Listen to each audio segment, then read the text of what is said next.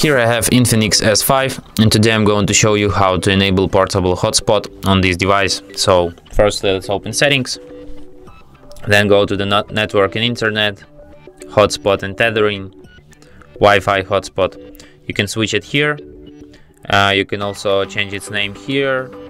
Uh, you can change its security protocol, change its password. You can also set it to turn off automatically if no one is connected. And that's all options for this mode. And you can also switch it here in the upper bar.